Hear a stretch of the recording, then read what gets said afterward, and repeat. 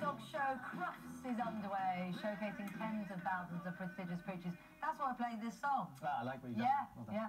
Uh, it's been revealed, though, that some British breeds are at risk of dying out due to a decline in popularity and the rise of more fashionable kind of designer dogs. Uh, there's currently 31 breeds that are vulnerable or at risk, including Sussex Spaniels and Collies, would you believe? So, should we be fighting to save these breeds, or should we just accept that some will always be more popular than others?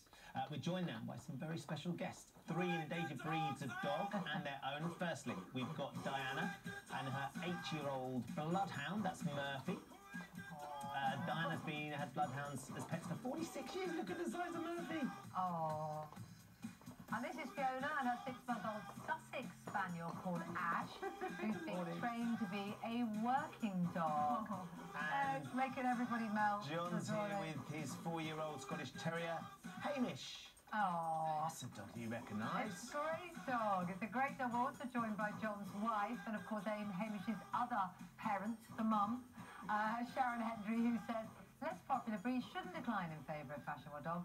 And we've got dog behaviourist Nigel Reed, who says if people don't want a particular breed, then it means there's no need for save them. How can you say that when you see these gorgeous dogs here who are all on the list of breeds that are dying out? Uh, well, there's about 20 breeds. You could have looked at those and said why, or more than 20 breeds that have died out before, and there's no one really misses them. No one's give that us one. upset. Um, a Cumberland, um, uh, what's it called? A collie. Cumberland collie. Oh, okay, Collie. Collie. Oh. So these, so so there are breeds that have disappeared Yes. because they've become less popular and they're gone forever. Yeah. Uh, so you don't believe you, you think there's enough breeds out there? There's enough options. We've got enough. There's over 300, and uh, I'm not, you know, I'm, I'm sure there's enthusiasts that'll keep them uh, around, and it's no problem. I've got no, no nothing against Some people of them keeping them down to around.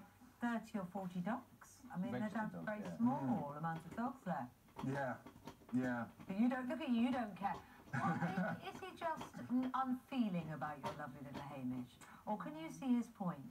That if there are so many dogs without homes and people aren't running to these particular breeds, why should we keep them going mm. if they're just not popular anymore?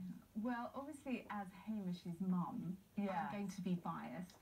But I think the point I want to make it is the fact that you know really dogs are not just dogs. You know they're an expression of our personality as owners. And they're also an expression of our culture and our cultural heritage. Mm. And particularly some of these dogs that we have in the studio mm. now, you know, they're part of what it means to be to be British.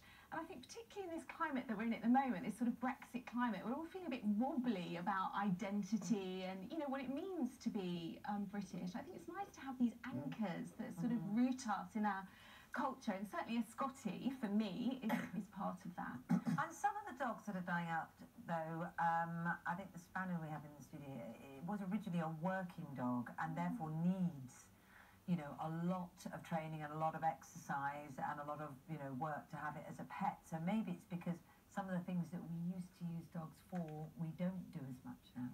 Yeah. And I think actually that's a really important point to make because, you know, even though, you know, I would obviously like to save the Scottie, you know, all of these breeds that are in the studio, you know, I wouldn't want people to just sort of rush out and think, oh, I'd like to buy a Scottie because he looks cute. Because actually it's a very difficult breed to handle. Is you it? know, What, in what way? well, they're just incredibly stubborn. It's part of their charm. They don't do anything they're told. Um, Is that why they're dying out though?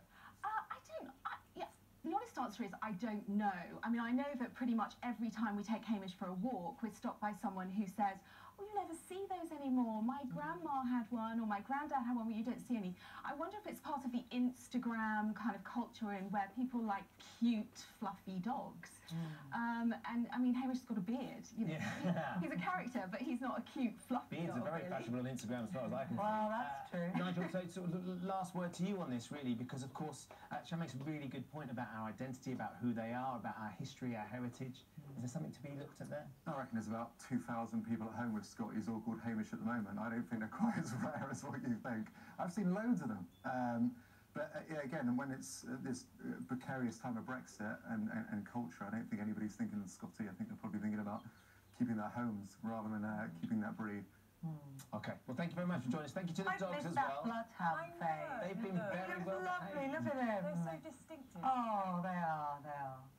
Good Amazing. lots Thank you, photos everybody. Uh, let's get some weather. Here's Alex.